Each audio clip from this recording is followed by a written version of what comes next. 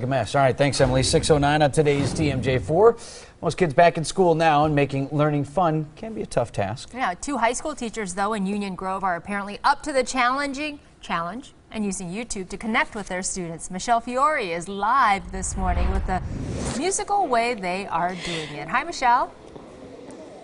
Hi, Susan and Vince. Good morning to you both. Well, classes here start at 7:30, but there are many early risers, as you can see behind me. Here in the gymnasium of Union Grove High School this morning, many of the students who served as, we'll call them featured extras, in a music video put together by their two teachers.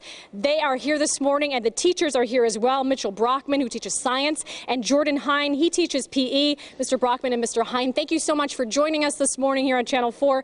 Uh, this is just an outstanding way, it seems, to grab students nowadays who are very techno savvy. Tell me, did you notice a difference? Now, this is the second year you've done this. Last year's video, uh, you guys, you know, went back to school. You put this video together.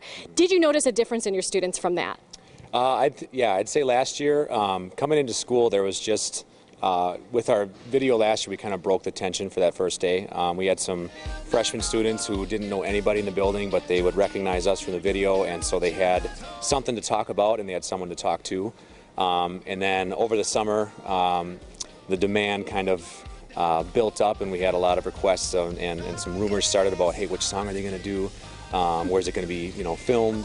And uh, so we finally, when we, we decided to, uh, to drop the video this year, um, kids immediately kind of jumped on it and started sharing with friends and family. So it really helped to, to boost our school spirit. I mean, if you look at, we get kids here at 5.30 in the morning. Yeah. Um, awesome. It's awesome. Yep. You guys are so funny. In this video, you high five each other. You're like best friends. Um, are you really best friends outside of life? Uh, yeah, we're, we're certainly outside getting, of, outside of school. Oh, yeah, we're yeah, outside of life. Yeah, we're certainly getting to that point. But uh, I wouldn't say that it's just like our friendship between the two of us is excellent. I think between the staff, there's a lot of cohesion. Uh, within our science department, it's awesome. So certainly we do hang outside or hang out outside of school, but I think the whole staff as a as a whole does that also. Okay, so the song this year is "That's What Makes School Beautiful." Of course, if One Direction had the best song of the summer, perhaps this song here will be the best song after summer. Reporting live in Union Grove, Michelle Fiore, today's TMJ4.